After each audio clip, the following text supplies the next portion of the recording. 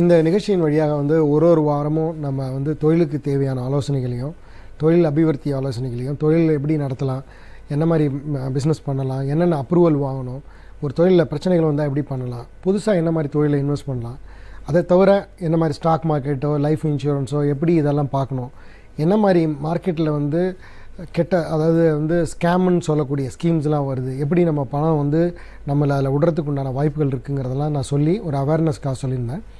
அதில் வந்து ஒரு ஒன் ஆர் டூ வாரமாக வந்து ஒன் ஆர் டூ வீக்ஸாக மெயினாக நான் சொன்ன விஷயம் விஷயம் என்னென்னா ஒரு சில புக்கிலேருந்து இருக்கக்கூடிய ஒரு முக்கியமான பாயிண்ட்ஸ் எடுத்து அதிலேருந்து உங்களோட தொழிலுக்கு தேவையான ஒரு சில டிப்ஸ் மட்டும் நான் சொல்லியிருக்கேன்.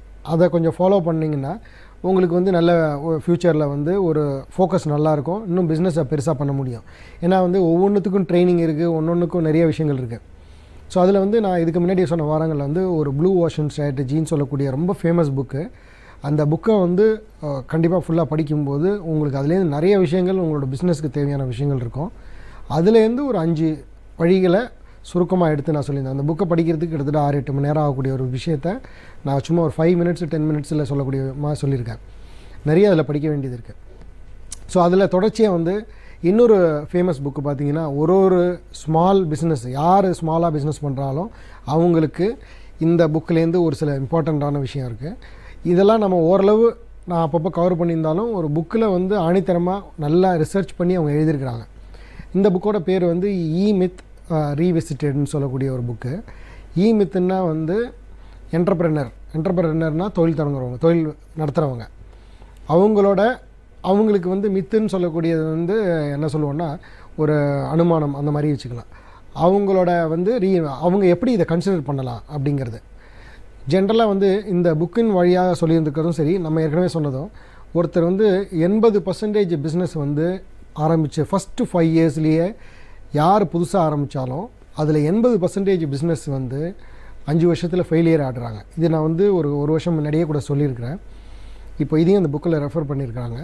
ஸோ எ எதனால் ஃபெயிலியர் ஆகிறாங்கன்னா காரணம் வந்து தொழில் தொடங்குறதுக்கு வந்து நிறைய பேர் காரணம் அவங்க ஏற்கனவே நடந்திருக்கிற எக்ஸ்பீரியன்ஸ்னாலையும் அவங்களோட டெக்னிக்கல் நாலேஜ் மேக்ஸிமம் பார்த்திங்கன்னா ஒரு டெக்னிக்கல் நாலேஜில் இருக்கிறவங்க தான் தொழில் தொடங்குறதுக்கு ஆரம்பிப்பாங்க. டெக்னிக்கல் நாலேஜுங்கிறது வந்து ஒரு இன்ஜினியரிங் இருப்பாங்க ஒரு ஆர்கிடெக்டாக இருப்பாங்க. இந்த மாதிரி ஒரு ஒரு விஷயமும் ஒரு ஃபேக்ட்ரியில் வந்து முக்கியமான டெக்னீஷியனாக இருப்பாங்க. அந்த விஷயத்துலேருந்து ஆரம்பித்து தான் இது நமக்கு நல்லா தெரியும். இதன் வழியாக நம்ம பிஸ்னஸ் ஆரம்பிக்கலான்ட்டு. ஸோ அப்போ ஒரு டெக்னீஷியனாக பிஸ்னஸ் ஆரம்பிக்கும் போது என்ன ஆகும்னா ஒரு கம்பெனி நடத்தும் போது என்ன ஆகுது நீங்கள் முக்கியமாக மூணு மூணு ஸ்டேஜஸ் வரும்.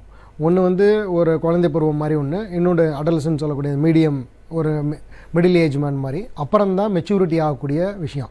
ஒரு பிஸ்னஸ் வந்து இந்த மூணு ஒரு ஸ்டேஜும் ஆகும்.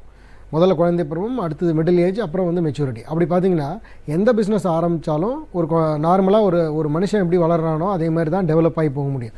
சடனாக ஒரு வருஷம் ரெண்டு வருஷத்தில் போகக்கூடிய கம்பெனிகள்லாம் வந்து ரொம்ப ரொம்ப குறைச்சல். அதெல்லாம் இன்ஆர்கானிக் குரோத்னு சொல்லுவாங்க. அதெல்லாம் வந்து ரொம்ப இன்வென்ஷனில் புதுசாக கண்டுபிடிக்கக்கூடிய ஒரு விஷயத்தினால உருவான கம்பெனியாக இருக்கும். ஜென்ரலாக பார்த்தீங்கன்னா இந்த மாதிரி தான் ஸ்டேஜில் போகும் இந்த மாதிரி மூணு ஸ்டேஜில் போகும்போது இன்னொரு மூணு விஷயம் தான் ஒரு கம்பெனிக்கு தேவையான விஷயம். ஒன்று வந்து ஒரு கம்பெனின்னு நடத்தினோன்னா மூணு கேரக்டர் அது உள்ளே இருக்கணும். ஒன்று வந்து டெக்னிக்கல் டெக்னிக்கல்ங்க சொல்கிறது தான் நம்ம ஏற்கனவே நான் சொல்லியிருக்கேன்.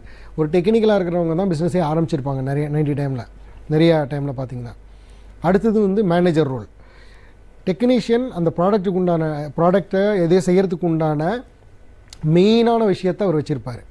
ஒரு மேனேஜர்னு சொல்லக்கூடியவங்க அங்கே நடக்கக்கூடிய விஷயங்களை சரிவர கரெக்டாக கவனித்து கரெக்டாக ஸ்மூத் பண்ணிக்கிட்டே இருக்கிறவர் தான் மேனேஜர் மூணாவது கேரக்டர் பார்த்திங்கன்னா என்டர்பிரனர்னு சொல்லக்கூடியது. என்டர்பிரனருங்கிறது வந்து அந்த தொழிலை நார்மலாக வந்து ஒரு பிஸ்னஸ் மேன் அதுதான் என்டர்பிரனர் சொல்லுவோம். ஒரு தொழில் நடத்தக்கூடியவர். தொழில் நடத்துகிறக்குரியோட சிந்தனையும் ஒரு டெக்னீஷியனோட சிந்தனையும் ஒரு மேனேஜரோட சிந்தனையும் வேறு வேறு மாதிரி இருக்கும். தொழில் நடத்துகிறவங்க வந்து சிந்தனை வந்து ஃபுல் அண்ட் ஃபுல் அதை எப்படி நம்ம அச்சீவ் பண்ணலாம் எப்படி மேனேஜ்மெண்ட் பண்ணலாம் எப்படி இதை பெருசாக்கலாம் இதுக்கு உண்டான பணத்தை எப்படி உருவாக்கலாம் இதுக்கு எப்படி மார்க்கெட்டிங் பண்ண முடியும் அப்படிங்கிற சிந்தனையில் அவர் இருப்பார். மேனேஜர் வந்து இந்த பிஸ்னஸை எப்படி சரிவர நடத்தலாம் எந்த என்ன எப்படி நடத்தினா இது ஸ்மூத்தாக போகும் இதை எப்படி மேனேஜ் பண்ணணும் நடத்த பிஸ்னஸை நடத்துறது இல்லாமல் அதை நிர்வாகம் பண்ணுறது மாதிரி. டெக்னிக்கல் பர்சன் அவர் ப்ரொடக்ஷன் கொண்டு வராரு. அவர் அந்த ப்ரொடக்ஷனை பார்த்துக்கிறாருன்னு வச்சுப்போம். இந்த மூணும் வந்து தனித்தனி ஸ்டேஜஸாக இருந்துச்சுன்னா அந்த டெக்னிக்கலாக ஆர டெக்னீஷியனாக இருந்த ஒரு பிஸ்னஸ் ஒருத்தர் வந்து பிஸ்னஸாக கரெக்டாக நடத்த முடியாது. ஸோ அப்போ அவருக்கு தேவை வந்து இந்த மூணு நாலேஜும் அவருக்கு போக போக வர ஆரம்பிக்கணும். ஏன்னா முதல்ல டெக்னிக்கல் இருந்தால் போகிறோம் கொஞ்ச நாள் ஒன் இயர் கழித்து அவரோட மேனேஜரல் ஸ்கில் இருக்கணும். மேனேஜர் ஸ்கில்னு சொல்லக்கூடியது மேனேஜர் ஆகக்கூடிய ஒரு தகுதியை அவர் உருவாக்கிக்கணும். அதுக்கு அடுத்த வருஷம் ஒன்றரை வருஷம் கழித்து பார்த்தீங்கன்னா அவர் வந்து ஒரு ஓனராக ஆகக்கூடிய வந்து தகுதியை அவர் உருவாக்கிக்கணும். முதல்ல இருந்து ஒரு கடைசி வரைக்கும் அவர் ஒரு டெக்னீஷியனாகவே பிஹேவ் பண்ணால் அதனால தான் இந்த எண்பது பர்சன்டேஜ் பிஸ்னஸ்மேன் புதுசாக ஆரம்பிக்கக்கூடியவங்க அஞ்சு வருஷத்தில் ஃபெயில் ஆகிறதுக்கு காரணம் இந்த ஒரு விஷயந்தான் கடைசி வரைக்கும் அவங்க டெக்னீஷியனாகவே இருப்பாங்க. அவங்களோட சிந்தனை ஃபுல்லும் வந்து ஒரு டெக்னிக்கல் ஆஸ்பெக்ட்லேயே இருக்கணும். ஸோ இந்த இதை பண்ணுறதுக்கு நம்ம என்ன பண்ணணும் அப்படின்னு நினச்சோன்னா ஒரு பிஸ்னஸ் ஆரம்பிக்கும் போது ஒரு பிஸ்னஸ்க்குள்ளே போகிறீங்க அப்போ வந்துட்டு டெக்னிக்கலாக ஸ்ட்ராங்காக இருந்தால் மட்டும்தான் அதை டெவலப் பண்ண முடியும். டெவலப் பண்ணோன்னே எல்லாத்தையும் நம்மளே பண்ணணும்னு நினைக்காம அதுக்கு உண்டான டெலிகேஷனை நம்ம கொண்டு வர்றோம். உடனடியாக ஒரு ஒன் இயர்க்குள்ளேயோ ஒரு நைன் மந்த்ஸ்க்குள்ளேயோ இன்னொரு டெக்னீஷியனை ரெடி பண்ணி டெக்னிக்கல் பார்ட்டை ஒருத்தர் மேனேஜ் பண்ணுற மாதிரி கொண்டு வரணும். அதை கொண்டு வந்தோடனே நீங்கள் மேனேஜர் ரோலை பண்ண ஆரம்பிச்சிடணும். இப்போ நான் சொல்கிறது வந்து எகெயின் ரிப்பீட் பண்ணுறேன் ஒரு பிஸ்னஸ் ஆரம்பிக்கும் போது மூணு ஸ்டேஜ் நான் சொல்லியிருந்தேன். ஒன்று வந்து குழந்தை பருவம் இன்னொன்று வந்து ஒரு மிடில் ஏஜ் இன்னொன்று வந்து மெச்சூரிட்டி எகெயின் வந்து அந்த பிஸ்னஸில் ஒரு மூணு கேரக்டராக நம்ம நடத்தி நம்ம வந்து நம்ம ஒரு பிஸ்னஸ் மேனாக மூணு கேரக்டராக இருந்தால் மட்டும்தான் சக்ஸஸ்ஃபுல்லாக வர முடியும். அதில் வந்து ஒன்று டெக்னிக்கல் டெக்னீஷியன் இந்த டெக்னீஷியன்கிறவர் வந்து ஃபஸ்ட் ஃபஸ்ட்டு பிஸ்னஸ் ஆரம்பித்தோன்னே ஒரு ஏழு எட்டு மாதத்துக்குள்ளே இந்த டெக்னிக்கலாக கம்பெனியை ஸ்ட்ராங் பண்ணினதுக்கப்புறம் டெக்னிக்கலுங்கிறது இப்போ ஒரு எக்ஸாம்பிள் வந்து ஒரு ஃபுட் ப்ராடக்ட் பண்ணுறாரு அப்படின்னா அவருக்கு தான் அதோட ரா மெட்டீரியல் எப்படி போடணும் என்ன மாதிரி ஃபுட்டு வரும் ஒரு சிப்ஸ் மேனுஃபேக்சரிங் பண்ணுறாருன்னா எப்படி வரும்னு தெரியும். ஒரு போல்ட்டு தயார் பண்ணுறாருன்னா அவருக்கு தான் அந்த டெக்னீஷியன் தெரியும். அது மாதிரி ஒரு ரப்பர் மேனுஃபேக்சரிங் ரப்பர் ப்ராடக்ட்ஸ் பண்ணுறாருன்னா அவருக்கு தான் அது தெரியும். ஸோ அந்த டெக்னீஷியன் வந்து அதில் ஸ்ட்ராங்காக இருந்தால் மட்டும்தான் இனிஷியலாக காஸ்ட்டை அதிகப்படுத்தாமல் காஸ்ட்டை குறைச்சலாக வச்சு அந்த ப்ராடக்டை டெலிவரி பண்ண முடியும். ஸோ அவர் கடைசி வரைக்கும் இதையே பண்ணிக்கிட்டு இருந்தாருன்னா அவரோட மேனேஜர் சக்தி அவருக்கு வராது. மேனேஜர் சக்தி வராது. ஸோ அதில் தான் அவர் வந்து மாட்டிக்குவாங்க. இப்போ பார்த்தீங்கன்னா ஒரு ஒரு பிஸ்னஸ் ஆரம்பித்து நம்ம போயிட்டுருக்கும்போது ஒரு மேனேஜர் லெவலில் வர ஆரம்பித்தோன்னே அந்த மே நிர்வாகத் திறமையை நீங்கள் அதிகப்படுத்தும் போது இந்த தொழிலில் நடக்கக்கூடிய ப்ளஸ் மைனஸை மேனேஜ் பண்ணக்கூடிய சக்தி வந்து ஒரு ஏழு எட்டு மாதத்தில் அவருக்கு ரெடி பண்ணிக்கிட்டாருன்னா டெக்னிக்கல் லெவல்லேருந்து மேனேஜர் லெவலுக்கு வந்துடுவார் அதுலேருந்து ஒரு ஏழு எட்டு மாதம் இந்த கம்பெனி வந்து நார்மலாக எல்லாரையும் ஸ்டாஃப்லாம் மேனேஜ் பண்ணி ஒரு அடுத்த ஸ்டெப் கொண்டு போயிட்டு இதுக்கப்புறம் வந்து எப்படி எந்த விதமான பிரச்சனையும் வராமல் எப்படி பண்ணலாங்கிறத பார்க்கும்போது இதுக்கு அடுத்த ஸ்டெப்பாக அவரோட ஓனர் ஒரு பிஸ்னஸ் ஓனருங்கக்கூடிய ஒரு சக்திக்கு வந்துடுவார் அப்போ வந்து அவரோட நோக்கம் வேறு மாதிரி இருக்கும்.